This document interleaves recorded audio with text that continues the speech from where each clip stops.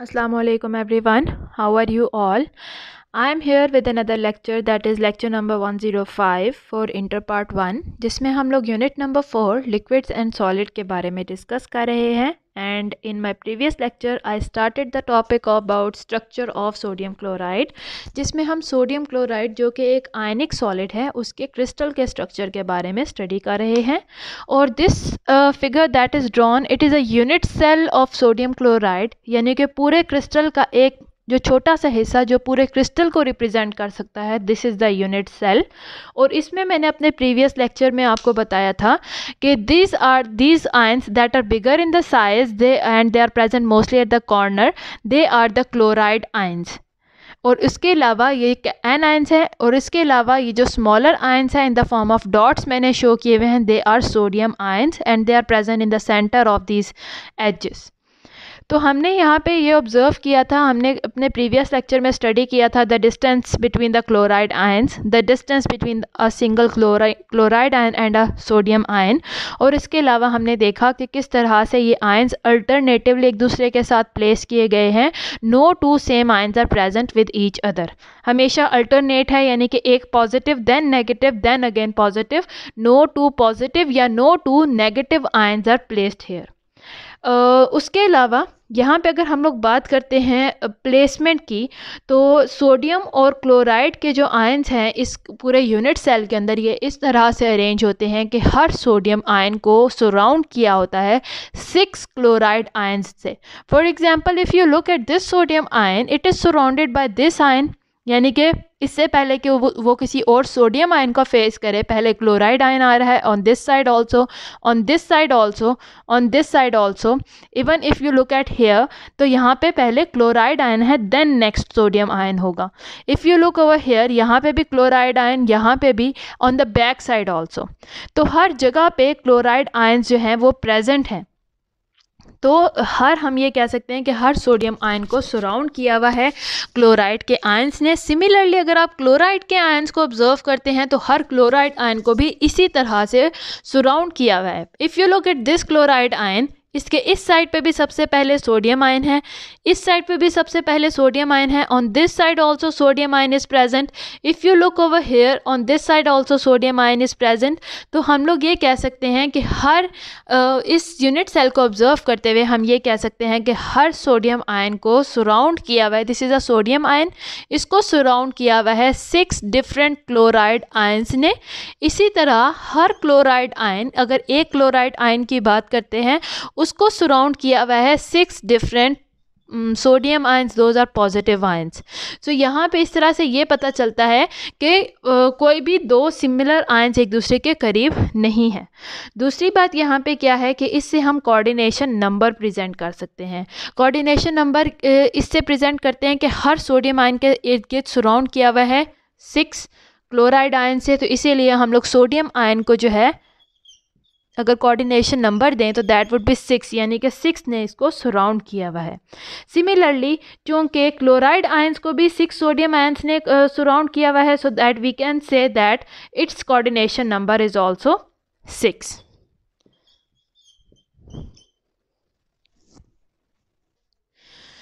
so so, अब हमें इससे अंदाज़ा हो जाता है कि अगर हम कोऑर्डिनेशन नंबर दे रहे हैं there is same coordination number for chloride ions also and same coordination number for sodium ions also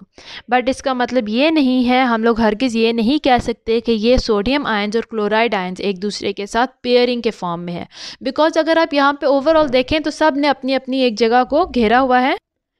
so so, हम यहाँ पे बिल्कुल नहीं कह सकते कि ये जो आयन्स हैं यानी कि one positive ion is present with one negative ion तो अब यहाँ पे सवाल ये उठता है कि जब हम लोग बात करते हैं सोडियम क्लोराइड की तो यहाँ पे हम इसका फार्मूला जब लिखते हैं that is N A C L इससे तो देख के हमें यही ऑब्ज़र्व होता है कि one sodium ion and one chloride ion ये दोनों ने मिलकर इस कंपाउंड को बनाया है तो ये एक एक इनका नंबर है। इस इट इट्स मीन के they are in the form of pairs लेकिन ऐसा नहीं है they do not not exist in the form of pairs यहाँ पे ये जब प्रेजेंट होते हैं एक क्रिस्टल लेटिस के अंदर, एक यूनिट सेल के अंदर तो ये एक दूसरे के साथ सेम डिस्टेंस पे हैं। यानी कि इस सोडियम आयन को हम किसी एक यहाँ पे मौजूद क्लोराइड आयन के साथ लिंक नहीं कर सकते बिकॉज़ हर क्लोराइड आयन इस सोडियम आयन से सेम डिस्टेंस पे प्रेजेंट है। So they will not make a pair they are just scattered they are just present in the whole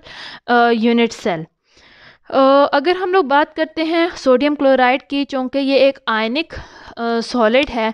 इसका मतलब इसके अंदर आयंस प्रेजेंट है जिस तरह से यहाँ पे प्रेजेंट हैं तो इन आयंस की जो पावर ऑफ़ अट्रैक्शन है फोर्स ऑफ़ अट्रैक्शन है या फिर फोर्स ऑफ़ रिपल्जन है टूवर्ड्स द सेम आयंस तो ये अपने यूनिट सेल तक महदूद नहीं है या फिर अगर हम इस तरह के काफ़ी सारे यूनिट सेल एक दूसरे के साथ कंबाइन कर दें तो वो सिर्फ़ अपने क्रिस्टल तक कम, इनकी force of attraction and force of repulsion महदूद नहीं होती। बल्कि जितना भी आप बड़ा क्रिस्टल बना लें, बहुत सारे यूनिट सेल को आपस में जोड़ते हुए तो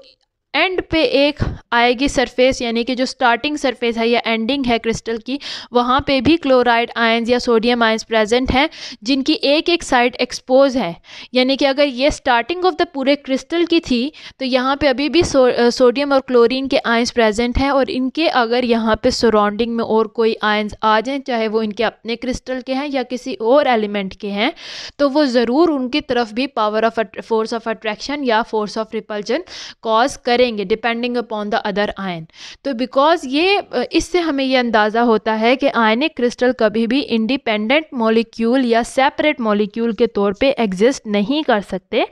हाउ अगर इनको हम वेपर फ़ेज़ में देखें, यानी कि सोडियम क्लोराइड को जब आपने इवेपोरेट कर दिया है बाय बॉइलिंग इट तो तब ये ज़रूर मॉलिक्यूल की सूरत में एग्जिस्ट कर सकते हैं but not in the solid state solid state में ये कभी भी एक इंडिपेंडेंट मॉलिक्यूल एक सेपरेट मॉलिक्यूल के तौर पे एग्जिस्ट नहीं करते। यानी कि सोडियम क्लोराइड का क्रिस्टल है उसके अंदर अभी भी सोडियम और क्लोराइड आयंस की फेसेस सरफेसेस एक्सपोज्ड हैं जो कि बाहर किसी मॉलिक्यूल को अपनी तरफ़ अट्रैक्ट कर सकते हैं। सो so, लेकिन फिर भी अगर हमें जब इसके फार्मूला की बात करनी होती है जिस तरह बाकी के कंपाउंड्स का मॉलिक्यूलर फार्मूला होता है इसका फार्मूला यूनिट कहलाते हैं आयनिक सॉलिड्स का तो उसका फार्मूला यूनिट हम सोडियम क्लोराइड ही कहते हैं यानी कि single ion of sodium and single ion of chloride depending upon its vapour phase क्योंकि सॉलिड फ़ेज़ में हम इसे कोई भी फिक्स नंबर नहीं दे सकते लेकिन इनका कोऑर्डिनेशन नंबर चूँकि सेम है six and six that is why हम इनको कंसिडर करते हैं एन ए सी एल यानी कि सिंगल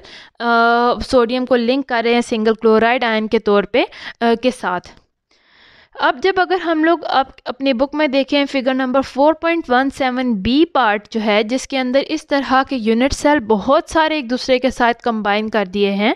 तो वहाँ पे अगर हम देखें there are at chloride ions that are at the corners of the cube अगर आप क्यूब में देखें तो one two three four five six seven eight eight chloride ions हैं जो कि कॉर्नर पे प्रेजेंट हैं और हर एक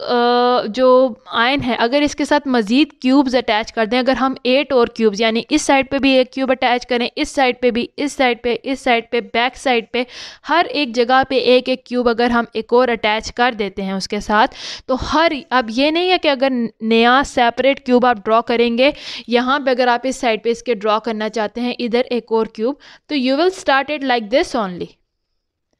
तो वो ये वाला क्लोराइड आयन जो पहले से इस क्यूब में थे सेपरेटली जिनको हमने मेंशन किया था, जब एक और क्यूब इसके साथ आके अटैच हुआ तो उसके अपने सेम कॉर्नर के उनके अपने सेपरेटली नहीं होंगे, बल्कि एक क्लोराइड आयन मज़ीद उस क्यूब को बनाने में भी यूनिट सेल के पार्टिसिपेट करेंगे। सिमिलरली जब हम इनको देखते हैं तो इस तरह से, ये वाला कॉर्नर ये यहाँ पे और एक्स्ट्रा क्लोराइड आयन जाके अटैच हो, हुए होंगे। But this corner this corner this four corners are being shared by the same cube similarly जब आप एक और क्यूब यहाँ पे ड्रॉ करें तो ये वाला क्लोराइड आयन ना सिर्फ़ इस क्यूब को बनाने के काम आ रहा है बल्कि इस क्यूब को भी बनाएगा और इस क्यूब को भी बनाएगा। सिमिलरली ये जो ऊपर क्यूब बन रहा है अगर एक और कॉर्नर हम इधर फ्रंट साइड पे एक और क्यूब को अटैच करते हैं तो ये वाला क्यूब उसको बनाने ये वाला क्लोराइड आयन उसको बनाने में भी काम आ रहा होता है। तो इससे हमें ये अंदाज़ा होता है कि ये जो एट क्लोराइड आयंस हैं, जो कि एट द कॉर्नर्स पे प्रेजेंट हैं, वो ना सिर्फ़ एक सिंगल यूनिट सेल को बनाने के काम आते हैं, बल्कि जब उस यूनिट सेल से पूरा क्रिस्टल लेटेस्ट बनता है तो उस ओवरऑल फुल क्रिस्टल को के अंदर वो पार्टिसिपेट कर रहे हैं, जिसके अंदर वो एक से ज़्यादा क्यूब्स के अंदर प्रेजेंट हैं। यानी कि इस क्यूब के साथ फर्दर आके जिस कॉर्नर पे जितने भी क्यूब्स अटैच होंगी तो उनके अंदर मस्ट है कि इस क्यूब्स के इलेक्ट्रॉन उस स्पेसिफिक एरिया जहाँ पे आके नया क्यूब अटैच होगा, उधर वो उधर रिप्रेजेंटेटिव जो क्लोराइड आयंस होंगे, वो पार्टिसिपेट करेंगे और उस नए क्यूब को बनाने में भी हिस्सा डालेंगे। हम ये नहीं कहेंगे कि अगर दो क्यूब्स इकट्ठे आए हैं तो इस क्यूब का अपना क्लोराइड आयन होगा इस क्यूब का अपना होगा तो उस तरह से तो दो सेम आयन्स एक दूसरे के फेस टू फेस आ जाएँगे और फोर्स ऑफ़ रिपल्जन हो जाएगी और इस तरह से ये दोनों यूनिट सेल मिलके एक क्रिस्टल को नहीं बना सकते। सो दैट इज़ वाई यहाँ पे ये जो इलेक्ट्रॉन क्लोराइड आयन्स हैं जो कि प्रेजेंट हैं एट कॉर्नर्स पे क्यूब के वो एट मज़ीद डिफरेंट क्यूब्स को uh, मतलब डिफरेंट हिस्सों में तकसीम है बिकॉज़ उसके जितने भी क्यूब्स मज़ीद मज़ीद अटैच होंगी वो उन सब में डिवाइड होते जाएँगे। तो इससे हमें ये पता चलता है कि हर क्लोराइड आयन का आठवां हिस्सा जो है इस सिर्फ़ एक स्पेसिफिक क्यूब से बिलोंग करता है बाकी के हिस्से बाकी क्यूब्स के साथ बिलोंग करेंगे जो आके मज़ीद यहाँ पे अटैच हो जाएँगी। सो so, हम ये कह सकते हैं जब आठवां हिस्सा इसका one by eighth part of this chloride ion 1 by 8th part of this chloride ion 1 by 8th part of this chloride ion 1 by 8 इस तरह से अगर हम लोग देखते जाएँ तो अगर हम ये कॉर्नर्स के क्लोराइड आयंस को काउंट करें तो totally one plus one plus one इस तरह से फोर प्लस फोर एट हो गए. Eight over eight chloride ion यानी कि टोटल वन क्लोराइड का आयन अगर हम ओवरऑल इसको कैलकुलेट करते हैं, ये पार्टिसिपेट करता है टोटली कंट्रीब्यूट करता है पूरे आठ कॉर्नर्स को बनाने के लिए, पूरे एट कॉर्नर्स को बनाने के लिए। Similarly six chlorides are present at the face center of face center यहाँ पे एक क्लोराइड आयन है, इनकी हमने जो कॉर्नर्स पे थे, इनकी बात कर ली, हमने देखा कि हर क्लोराइड आयन आठ हिस्सों में डिवाइड हो जाता है पूरे क्रिस्टल को बनाने के लिए। सिमिलरली अगर हम इन क्लोराइड आयन की बात करें, जो कि फेस सेंटर्स में प्रेजेंट हैं तो ये सिक्स हैं, और हर यहाँ पे अगर ये वाला प्रेजेंट है, अगर मैं इस फेस को देखती हूँ, अगर मैं ये फ्रंट फेस को देखूँ, यहाँ पे अभी जस्ट हम लोग क्लोराइड आयंस की डिस्कशन कर रहे हैं, यहाँ पे हमने देख लिया कि ये वाला अगर इस तरह से अटैच है, इधर से अटैच हैं पीछे से फ्रंट साइड से यहाँ से पीछ यहाँ से अटैच हैं जिस तरह से भी अटैच होंगे हर क्लोराइड आयन का आठवां हिस्सा। इसी तरह अगर ये जो फेस के आ, सेंटर में प्रेजेंट है अगर इनकी बात करें यहाँ पे एक और आके अगर क्यूब अटैच हो जाता है तो this ion is divided into two यहाँ पे एक और क्यूब आके अटैच हुआ तो this ion is divided into two cubes यहाँ पे एक और आके फेस अटैच हुआ तो this ion is divided into two cubes similarly this ion is also divided into two cubes तो इस तरह से सिक्स जो chloride ions that are present in the face in the center of the face ये सब के सब जो हैं वो डिवाइड होना शुरू हो जाएँगे. Sorry this was a mistake थोड़ी सी करेक्शन यहाँ पे दोबारा कर लेती हूँ. This ion was present over here वो तो सोडियम के आयन्स थे जो कि उधर फेस सेंटर में this ion was present over here अब ये यहाँ पे प्रेजेंट है, इसके फ्रंट साइड पे अगर आके एक और हम क्यूब अटैच कर दें तो वो वाला जो आयन जिस तरह से एक आयन इस क्यूब के यहाँ पे सेंटर में है, यहाँ पे प्रेजेंट है, यहाँ पे अगर आके एक और दूसरा क्यूब हम लोग अटैच कर देंगे तो ये आयन इन दोनों क्यूब्स के दरमियान में डिवाइड हो जाएगा। तो here there are six chloride ions that are present in the center of the face तो सिक्स जब उनको मज़ीद हम लोग डिवाइड करते हैं जब वो फर्दर आके इस तरह से दूसरे क्यूब इसके साथ अटैच हो जाते हैं तो हम लोग ये कह सकते हैं कि ओवरऑल जो है यहाँ पे uh, जो फेस सेंटर पे हैं क्योंकि ये दो हिस्सों में डिवाइड हो रहे हैं तो there are only three chloride ions that are contributing to one single cube तो three plus one from here totally एक क्यूब के ऊपर एक क्यूब के अंदर अगर हम लोग देखें टोटल पार्टिसिपेशन तो फोर क्लोराइड आयंस की प्रेजेंट होती है। सिमिलरली हम लोग जब अगर सोडियम uh, आयंस को भी सेपरेटली स्टडी करें तो उससे भी हम ये बता सकते हैं कि four sodium ions are present four sodium ions are totally hundred percent contributing in making a single unit cell जिस तरह से यहाँ पे दिखा रहे हैं there are more than four लेकिन जब हम लोग इनको दूसरे क्यूब्स के साथ अटैच करके तब स्टडी करते हैं तो तब वो डिवाइड होते जाएँगे और उनकी रेशियो अगर निकालें तो ओवरऑल जितने भी यहाँ पे सोडियम आयंस प्रेजेंट हैं, या जितने भी क्लोराइड आयंस प्रेजेंट हैं, उनका, उनमें से टोटली फोर उनका जब हिस्सा करते हैं, उनको ऐड अप करें तो टोटली फोर सोडियम आयंस या फिर फोर क्लोराइड आयंस जो हैं पूरे एक यूनिट सेल के अंदर कंट्रीब्यूट हो रहे होते हैं। So there are equal number of sodium sodium ions, therefore four sodium chloride units are present per unit cell her unit cell के अंदर, चूँकि हमने कह दिया है कि फोर सोडियम के आयंस प्रेजेंट होंगे फोर क्लोराइड के आयंस प्रेजेंट होंगे, इसीलिए हम लोग ओवरऑल अगर पूरे इसको एक नंबर देना चाहते हैं तो हम ये कहेंगे कि एक यूनिट सेल के अंदर फोर सोडियम के आयंस और फोर क्लोराइड के आयंस हैं तो ओवरऑल हम ये कह सकते हैं कि एक यूनिट सेल के अंदर फोर सोडियम क्लोराइड के यूनिट्स प्रेजेंट होते हैं। तो ये लेक्चर था, मेरा जो थोड़ा बहुत कन्फ्यूजिंग था, अगर आप गौर से इसको देखें you can take help from the pictures from the net आप एनिमेशन से देख सकते हैं कि किस तरह से ये फर्दर एक क्यूब के साथ आप दूसरी क्यूब जिस तरह जिस तरह अटैच करते जाएँगे तो वो इलेक्ट्रॉन्स जो सॉरी जो आयंस प्रेजेंट थे, वो डिवाइड होते जाएँगे फॉर ईच क्यूब और इस तरह से उनका हिस्सा बनता जाएगा। और फिर हम एंड पे कैलकुलेट कर सकते हैं कि एक यूनिट सेल के लिए totally out of all these chloride ions totally उनके पूरे पार्ट्स को ऐड अप करने के बाद फोर क्लोराइड आयंस और फोर सोडियम आयंस ही पार्टिसिपेट कंट्रीब्यूट करते हैं एक यूनिट सेल को। तो उम्मीद है आपको आज का लेक्चर समझ आया हो। अगर इसमें कोई कन्फ्यूज़न है तो आप मुझसे दोबारा पूछ सकते हैं। I am here to help you out and see you soon in the next lecture till then Allah हाफिज़